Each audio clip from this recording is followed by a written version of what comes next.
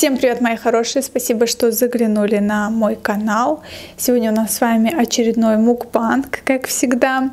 И значит, у нас все изделия, которые я купила. Здесь у нас булочка с вот такая вот пицца, которая продавалась еще когда я была в детстве в столовой. Я ее очень люблю. Она чем-то напоминает обычную булку, какой-то бутерброд, так скажем. Не совсем напоминает пиццу. Но вот эта круглая пицца, мне кажется, была во всех а, столовках. Дальше обычная вот такая булка просто сладкая и смит. Давайте приступим. Я не хотела сегодня снимать видео, потому что у меня были другие планы на сегодня. Я собиралась пойти на лазерную эпиляцию, затем пойти к стоматологу. Вы знаете, что несколько дней я собираюсь к стоматологу. Я не могу попасть к стоматологу, потому что у меня появились усы. Мне как-то стыдно к нему идти, знаете, такая усатая с бородой. У меня, по идее, извиняюсь за подробности, но где-то три волосика здесь на подбородке.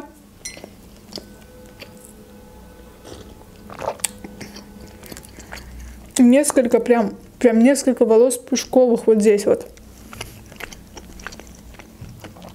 Мне стыдно идти к стоматологу, Потому что когда вы идете к нему, прям такое, знаете, сильное освещение, в обычной жизни, возможно, никто даже не заметит, но у стоматолога это заметит.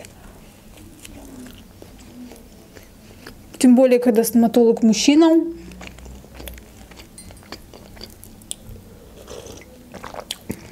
В общем, я говорю о своих недостатках, боюсь, что увидит это стоматолог, а потом рассказываю на всю страну. А кто ходит на лазерную эпиляцию, девочки, вы, наверное, знаете. Раз начала курс лазерной эпиляции, то нельзя выдергивать. Как выдергивать? Делать эпиляцию. То есть просто пинцетом пройтись категорически нельзя.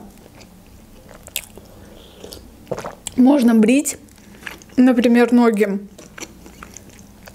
Но именно эпилятором проходиться или просто пинцетом ни в коем случае нельзя. Не постоянно хожу на лазерную эпиляцию, но, например, чисто взять мои ноги, там стало на 70% меньше волос, чем было изначально. И те волосы, которые растут, они пуш пушковые, они очень тоненькие.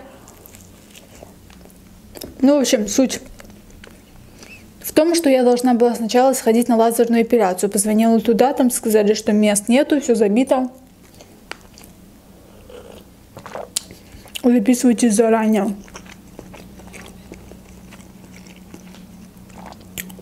Стоматологу позвонила и отменила. Сказала, что у меня дела срочные вышли.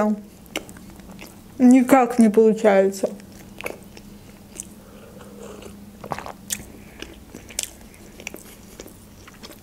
Все перенесла на завтра. Решила завтра как раз таки и вложек снять для вас. Уверена, что вам понравится.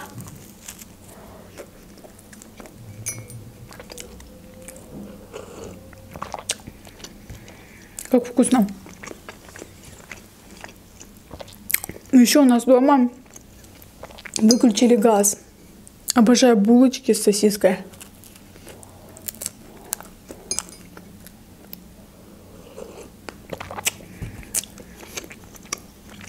В общем, когда у нас отключают газ, у нас отключается отопление.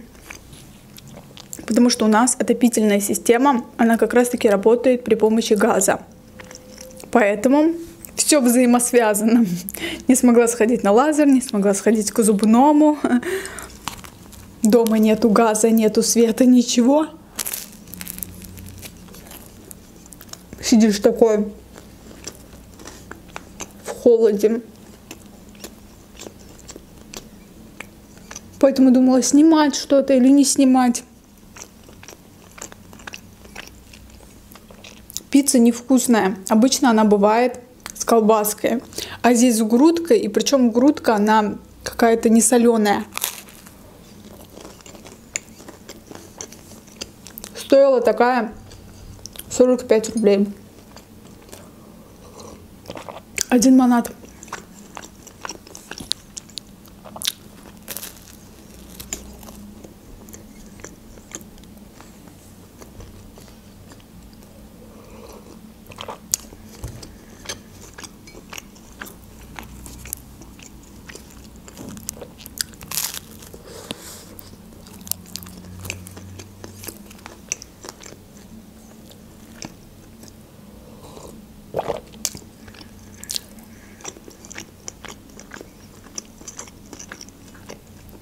Все взаимосвязано, все до кучи.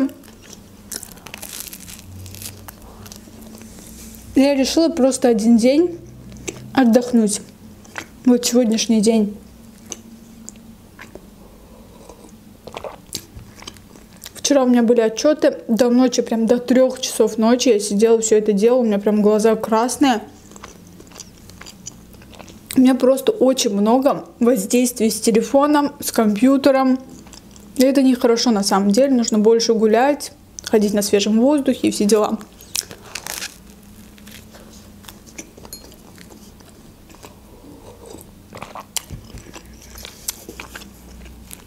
И ютубчик у меня связан с интернетом.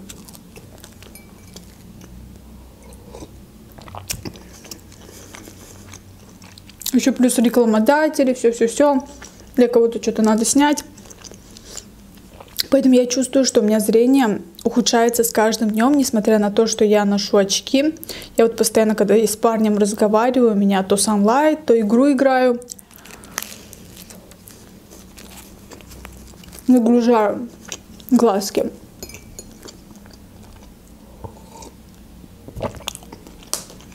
Давайте немного поотвечаем на вопросы.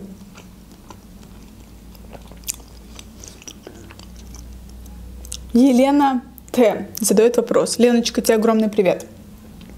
Айка, ты всегда рассказывала про то, что ты очень любишь Дом 2, долгое время его смотришь. Почему тогда ты не пошла туда как участница?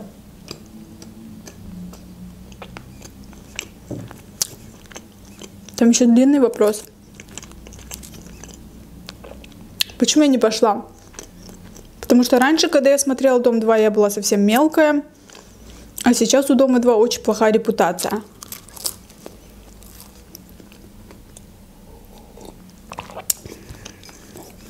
Например, там ты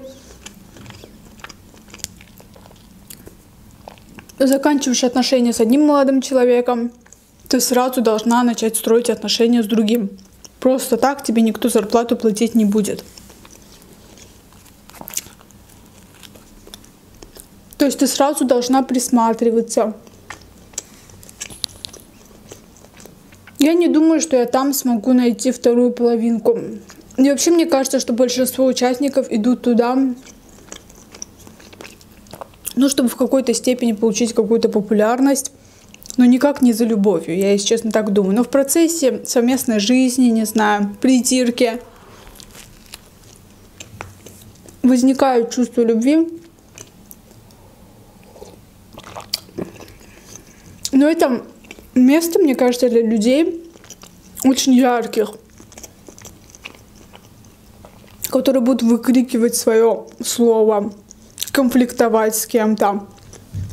Я никогда не была таким человеком. То есть, если бы даже я туда бы пошла, мне кажется, первое, второе голосование я бы ушла за ворота.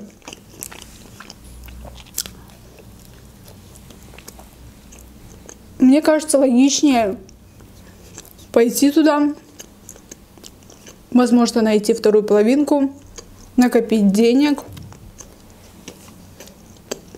получить какую-то популярность. Это какой-то старт.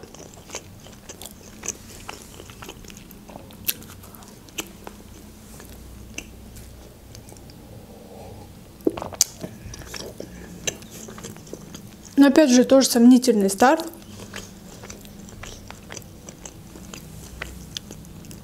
Кому-то нужна такая слава, кому-то нет. Опять же, все индивидуально. Но я предпочитаю просто оставаться в роли зрителя.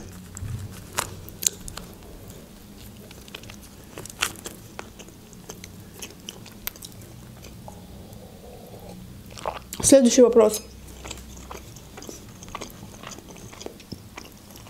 Читаю много комментариев касательно твоего парня. Хочу спросить, Алька, не боишься ли ты, что твой парень начнет тебе запрещать все после свадьбы? Я считаю, что такого не будет. Я так думаю, по крайней мере. А если такое будет, я не буду подчиняться. Я скажу, ты чё? Ты когда познакомился со мной, я была блогером.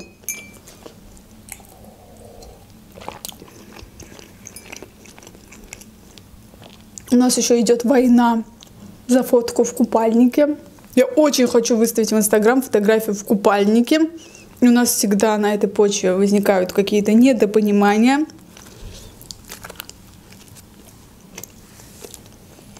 Я вот одного понять не могу. Вы реально идете по Баку, полно девушек в шортах. Идете на море, например, все девушки в купальниках. И их видят мужчины тоже. То есть на пляже меня могут видеть в купальнике, а в Инстаграме нет.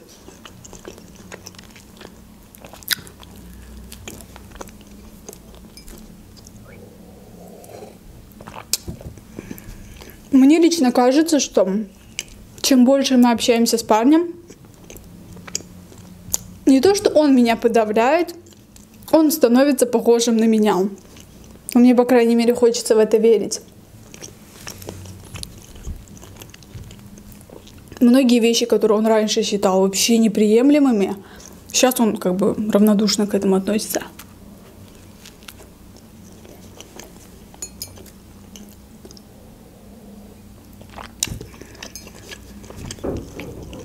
Если брать мою маму, мама считает, что я слишком мягкая. Что где-то я должна постучать по столу и сказать «нет». Вот так.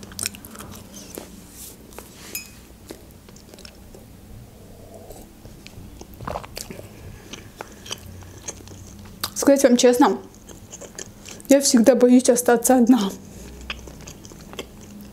Хотя мне не 30, не 35, не 40 все равно не знаю, у меня всегда внутри есть боязнь, что я останусь одна, никому не нужная, так и не смогу найти вторую половинку, все дела. Хотя мои, например, одногруппницы, можно сказать, 70% не замужем. Вот, хотя мы недавно универ закончили, но все же то есть я не могу сказать, что все замужем мои ровесницы, я только осталась в девках. Такого нет абсолютно. В общем, на этом все, мои хорошие. Я наелась, хотя Смит даже не притронулась, просто чисто для красоты здесь лежал. Зато я булочки с сосисками поела, поела половину такой пиццы, было очень вкусно, и кофе у меня тоже закончился. Если вы тоже кушаете, то приятного аппетита. Всех люблю, целую. С вами была Эмили. Пока.